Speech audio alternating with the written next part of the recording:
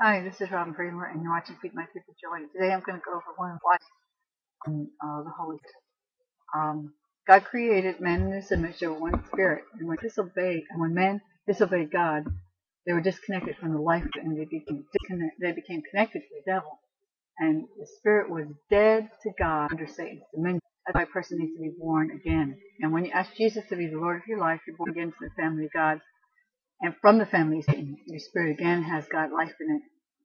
And the Holy Spirit is part of the Godhead.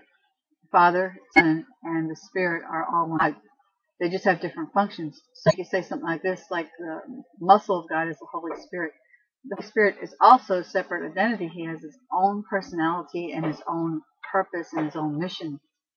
And the ministry of Jesus was to first pay the price for our sins, for our treatment of our sin, and then to redeem us from all the curse of sin and death. And he did by uh, die on the cross as our substitute, paying for our lifetime of sin.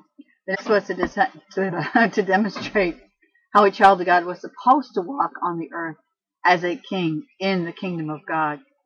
And he did that by walking around destroying the works of the devil, bringing justice.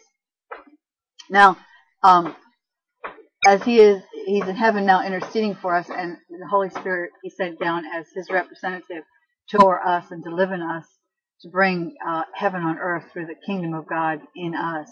And we need the Holy Spirit because the Holy Spirit helps us um, wrestle against principalities in heavenly places. And, and our battle's not a, a, a physical one, but a spiritual one. And our weapons are spiritual. And the Holy Spirit is um, what causes us to have victory and what we fight with. The Holy Spirit lives inside of our spirit. He's He's the power of God. He's a guarantor and sealer of our salvation. He also bears witness with our spirit that we're the children of God. Now, let's take a look at uh, the Holy Spirit in the New Testament and what it says about the disciples. Uh, Behold, my servant whom I have chosen, my beloved in whom my soul is well pleased. I will put my spirit upon him. And um, I don't know how to get that out of the way there. I'll put my spirit upon him. He'll show judgment to the Gentiles. And it's to your advantage that I go away, for if I don't go away, the helper will not come to. But if I depart, he'll come to the world of sin. And remember, that's only one sin. And what is that sin? Because they don't believe in me. Okay, the judgment, because the ruler of this world is judged. That's why he's judging the world, because the ruler, because the ruler of the world is judged. Um, then in Luke says, the Spirit of the Lord is because he has anointed me to uh, preach the gospel to the poor. Well, this is all judgment. Um, preach the gospel to the poor so they don't have to be poor no more. He sent me to heal the brokenhearted, to preach um, deliverance to captives and recover his sight to the blind, to set liberty the bruised, to preach the acceptable year of the Lord. And that's why he was anointed. He went about doing good and healing all that were oppressed of the devil, because all sickness, disease, poverty, lack, fear, death is all from the devil. Now, up here on the top of page three is the purposes of the Holy Spirit. In, he's our comforter, counselor, teacher, helper, intercessor, advocate, strengthener. And he works miracles by faith with the Spirit. He's our power over all the power. And there's things that we can't effectively without the Holy Spirit. Love works through the Holy Spirit because faith works through love. And love's been poured out in our spirit uh, the Holy Spirit. He guides us in all truth. He reveals God's words, His voice, His witness. Led by the Spirit, we crucify the flesh by the power of the Spirit. Uh, and here's our scripture. We pray. The Spirit helps pray. We can't pray without the Holy Spirit. Uh, you can get these, um, this uh, track uh, free on my website. Download, copy. Uh, it's uh, folds in three, and uh, use it to to witness other people. He makes us rapture ready. He gets us prepared. Um, let's see. He gives us power to preach and teach. He makes us rapture ready. He makes us righteous. He gives us freedom from sickness, disease, hate, lack, fear, bonds, and so on. And he seals our salvation. He is the guarantor of our salvation. Okay, on that page. Um, so we'll go to part two now. Okay. Now, um, filled with spirit, you will speak in a heavenly language called tongues, which is very, very important.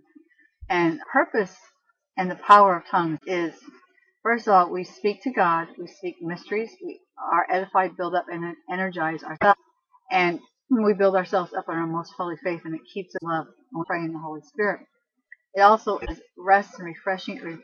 Praying in the Spirit in tongues reveals mysteries, thoughts, intents, and purposes of God and is God. He shows us things to come, plans for a future.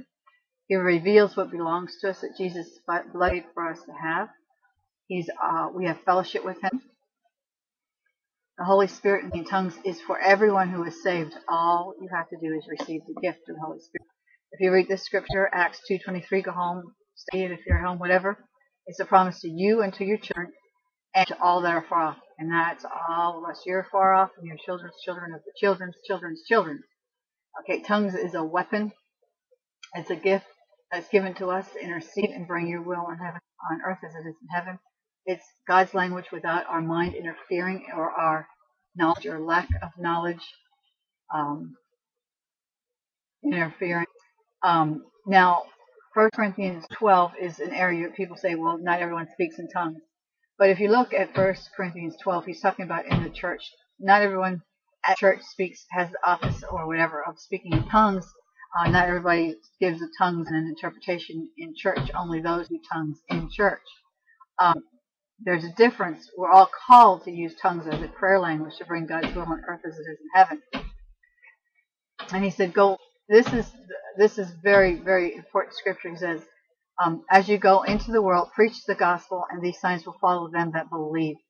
You shall speak with new tongues." Now, that's nothing debatable about that. It said that you'll speak in you will speak in tongues if you believe. Now, if you don't believe, you're not going to speak in tongues. You're not going to have all the other things that I went over. Um, the other side of this uh, track, you have to speak in new tongues. It is a gift and it is an empowerment. Okay? And Lord confirms the signs. It's a sign and a wonder. Um, Strong's definition, it's a sign. Uh, it's an unusual occurrence, uh, sending the concourse a sign of signs, uh, portening, whatever that word is, portening, um, remarkable events soon to happen of miracles and wonders by which God authenticates men, or by which men prove that cause they are pleading are his gods. Okay, so go to um, robinbremer.net and you can copy the track. Very important track to get people filled with the Holy Spirit. Uh, the Holy Spirit is part of the Godhead. We're created in His image. We live in a body. We have a soul. Jesus is the flesh God used to walk on the earth. Um, and we're the flesh now that He lives in. So my name is uh, Robin Bremer, and uh, this is Feed My People. And go to the website and get the free, and that's it for today.